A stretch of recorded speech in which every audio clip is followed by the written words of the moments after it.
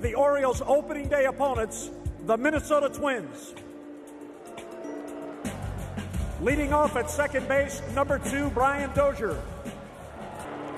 Batting second at first base, number seven, Joe Mauer. Batting third in right field, number 22, Miguel Sano. Batting sixth, the designated hitter, number 52, Byung Ho Park.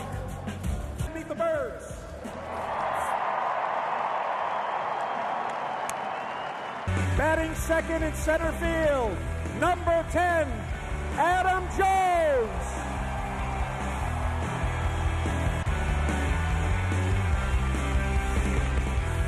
Batting third at first base, number 19, Chris Davis.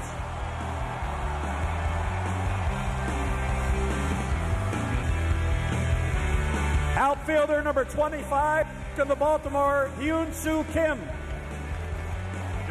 A 500 record. And now let's meet the 2016 Ball.